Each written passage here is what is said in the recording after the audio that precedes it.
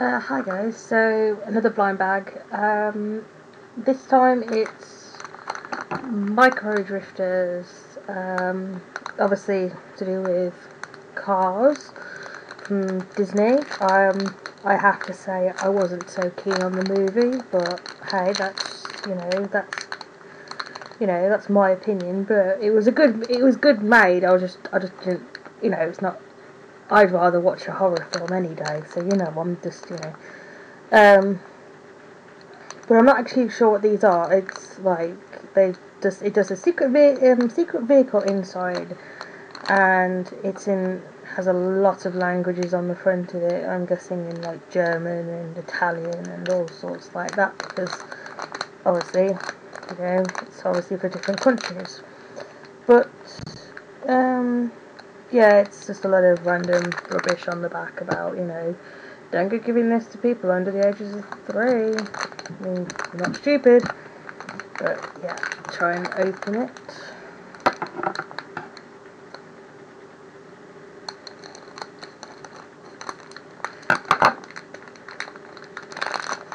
Right, take the paper out first. And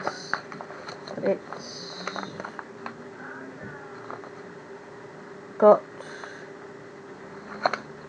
I'm not too sure what all that stuff is at the back, but um, it's got all the cars that you can get and stuff. I'm thinking it's like well, they've got a lot of um, like the names of like the cars and stuff, but there's a lot of names for the cars and stuff, and it's a bit confusing of what exactly this is for, but ah, um, okay, um, this is throwing me a bit because I've never. It's like a normal little plasticky kind of car, but it's got this weird ball on the bottom, like you know, like the mice have. Like when well, the mice used to have, like now they're all like laser stuff, but I'm guessing it's to maybe a magnetic thing for something or something. Maybe this is supposed to go on a big track of some some sort, or it's just to help it go along. Hmm, I'm going to probably have to look them up because I have another one here, but it's just a bit weird. These are these actually throw me a bit because I have never seen stuff like this before because you know I've just I've never seen things like this before so thick, thick same paper again um, different car though which is nice um, so again it's you know it's got the metal ball on the bottom which I'm not too sure what the metal ball is for but hey, if anyone can enlighten me on these things, then go right ahead. I'm thinking it's just for a way for it to move along somehow, or it's supposed to, you know, it's supposed to be for something, but yeah, I'm gonna have to look these up because they don't, because there's nothing on the, there's nothing on the paper about them or anything. It was, it's just like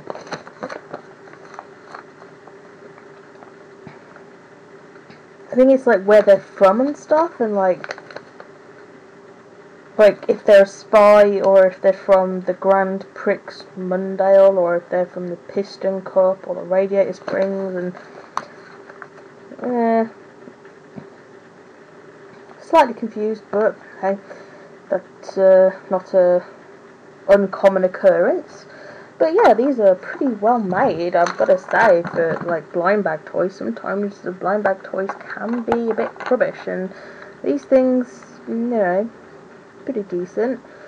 Um, I'm not a fan of cars, this is the thing, like I said, I'm not a fan of cars, but, you know, they're, they really, that, that silver ball thing is really throwing me. Uh, either I'm being really stupid, or there isn't a thing to it, it's just like, it's a help it's just a way to move it along and stuff. It probably is because obviously the wheels don't move. The wheels are like stuck in place and stuff. Uh, so, but yeah, um, if anyone has any hints on what the hell these are, please tell me. Um, yeah, uh, obviously another blind bag. I'm loving, I love blind bags. I absolutely adore them because they're just, you know, there's something about opening up something that you just don't know what the hell it is. You know, there's no picking and choosing. You get what you get and you live with it, kind of thing, more than anything. And it's like, you know, your kids can't argue over these things because, well, you know, it's a blind bag. You know, you can't. Well, I mean, I suppose kids can be a bit thingy bound, but you know, if I'd say if you see any of these for a decent price, I'd say for a little kid, yeah, they're quite decent. Obviously, they've got to be over three years old because that's what it says on the packaging. And to be honest, a lot of kids would stick these probably in their mouths, and they are quite small. I mean, compare it to one of the Lego figures, and it is like you know, it's about the same size as you know, smaller than a Lego figure. Kids will probably eat it. So you know, by the way, that was from the previous blind bag. These are from previous the previous video on the blind bags, and I've just thrown them everywhere.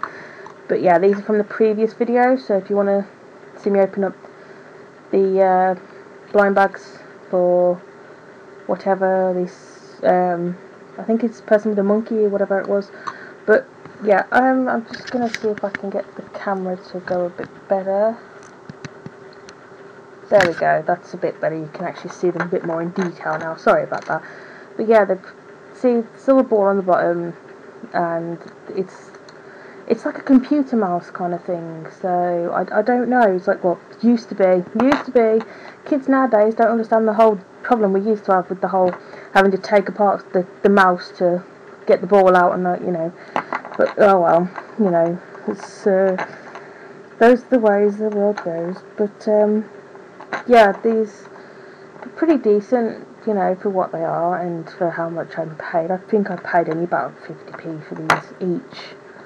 So, you know, good old home bargains. They uh, give you bits and pieces for really cheap nowadays. But um, I will probably go looking there again for some more blind bags, um, hopefully soon. Because I love blind bags, like I said, I love them, and you know, I, I enjoy opening up blind, blind bags. So, yeah, um, thank you for watching, and I will see you in the next video. Bye.